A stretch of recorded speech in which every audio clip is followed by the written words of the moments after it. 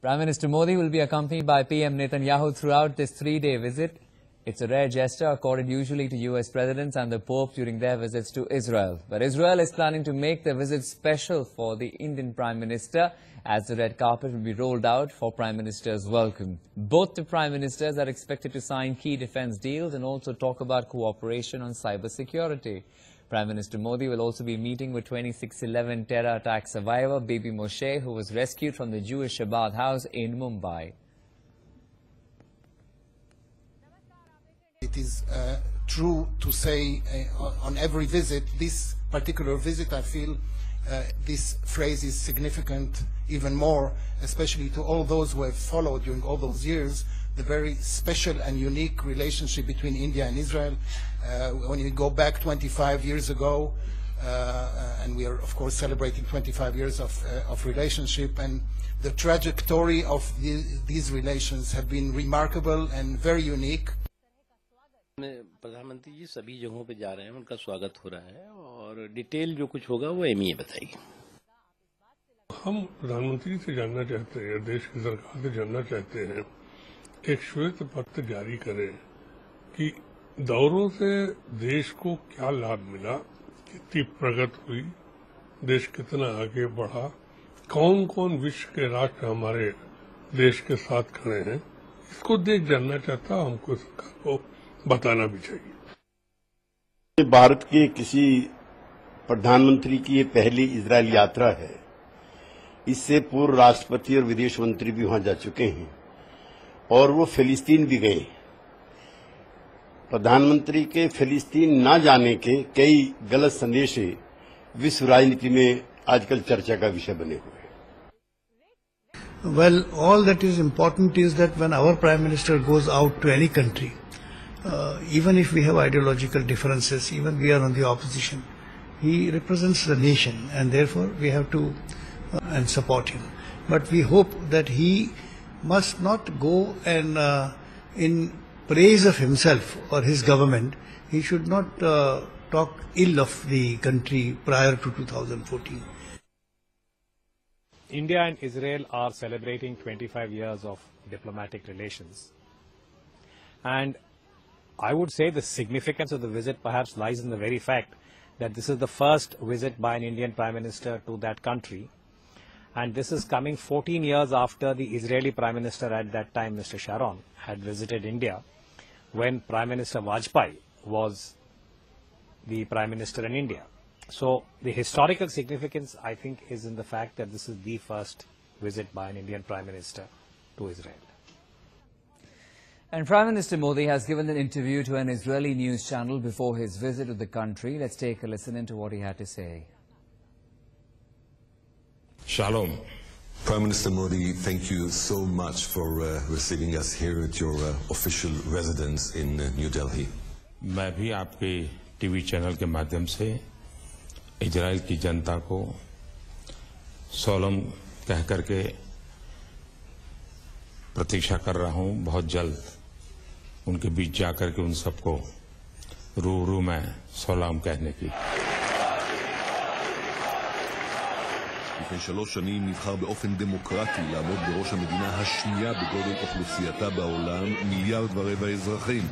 מאז הוא זוכה לאהדה חסרת תקדים בהודו ובעולם כולו, בעיקר בשל המהפכה הכלכלית שהוא מוביל בתת היבשת, שנחשבה נכשלת ואכולת שחיתות. What is the next phase, uh, Prime Minister Modi? As a reformist, where do you see your country 10 years from now? मेरी सरकार की कोशिश है भारत के युवाओं के सपनों का नया भारत बनाना हमारा रास्ता है रिफॉर्म परफॉर्म ट्रांसफॉर्म तो हम नई ऊंचाइयों को पार कर सकते हैं भारत अपार संभावनाओं का देश है। नेक्स्ट जनरेशन इंफ्रास्ट्रक्चर पर बल देना है। चाहे रेल हो रोड हो वाटरवेज हो ऑप्टिकल फाइबर नेटवर्क हो, उस इंफ्रास्ट्रक्चर पर हम बल देना चाहते हैं कि जो आधुनिक भारत का अधिष्ठान हो, कि जो मेरे गाँव के क्वालिटी ऑफ़ लाइफ में बदलाव लाए, मेरे गरीबों की ज़िंदगी में बदलाव लाए।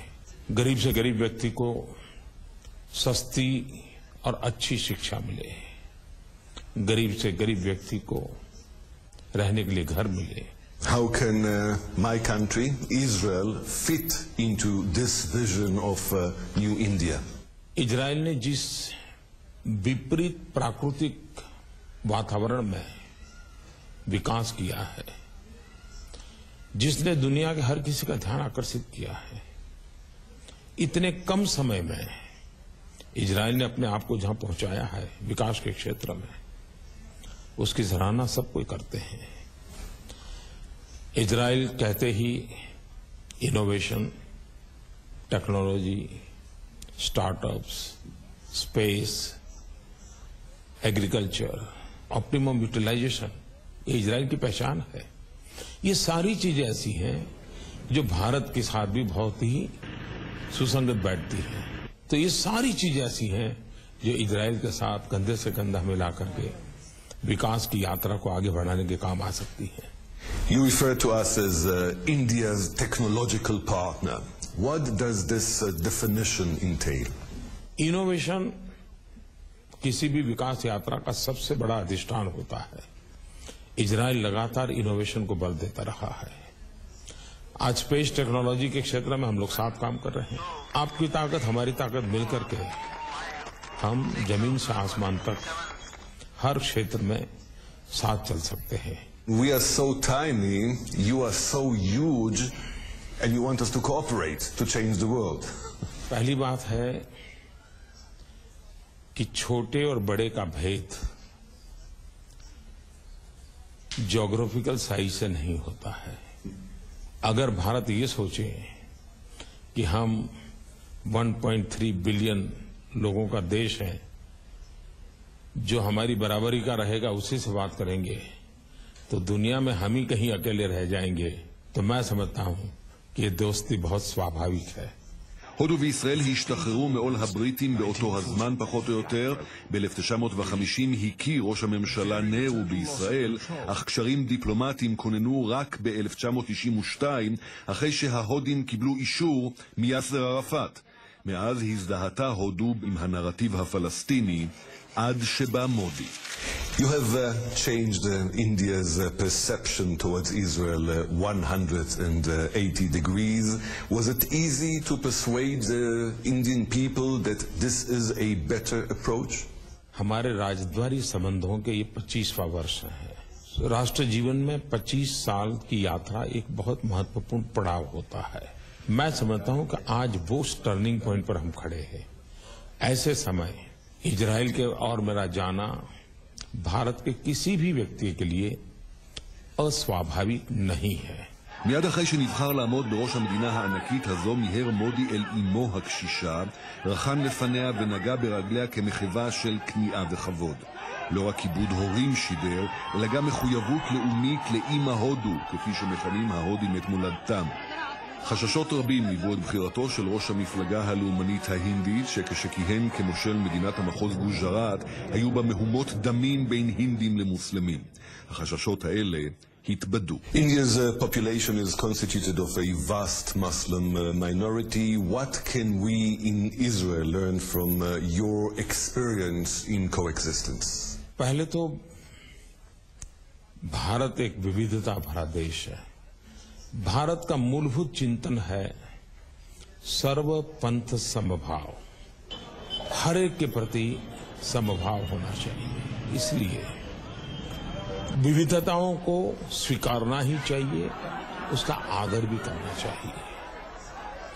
और एक बार हर किसी की विशेषता का आदर करते हैं, स्वीकार करते हैं तो संघर्ष का एरिया रहता ही नहीं है। और भारत ने इसको जी करके दिखाया है Finally, uh, Mr. Prime Minister, in uh, two days uh, you'll be meeting uh, Prime Minister Netanyahu, who uh, seems to be a good acquainted of yours. Uh, will you ask him for a joint uh, yoga session? खैर मैं समझता हूँ कि पूरे विश्व ने 21 जून को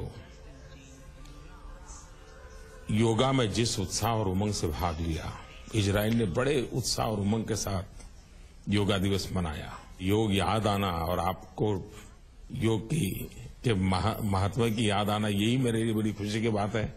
और मैं आशा करता हूँ कि आपके टीवी के माध्यम से दिन में कम से कम आधा घंटा आप इसराइल के लोगों को योग के संबंध में प्रशिक्षित करेंगे तो शायद होलिस्टिक हेल्थ केयर की दुनिया में आपकी चैनल भी बहुत बड़ी सेवा करेगी And this might be the solution uh, to our region too.